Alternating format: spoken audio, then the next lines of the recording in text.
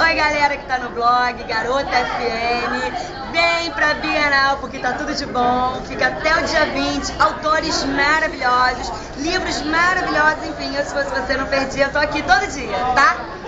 Beijo.